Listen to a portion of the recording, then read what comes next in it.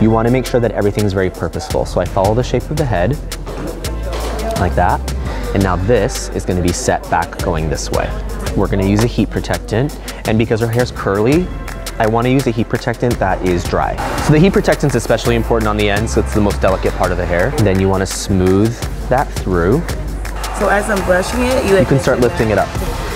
So we're going to go, go ahead and put the hair in the iron and I'm gonna get that root area nice and hot. Stay right there. Gonna brush that there, get it nice and smooth. Now, what we're gonna do is take the green roller.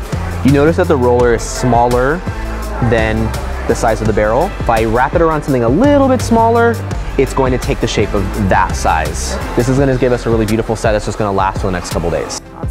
I have a very specific way of working, and I think that's the beauty of the mentorship program for all of them to kind of get into all of our own little quirks of how we work.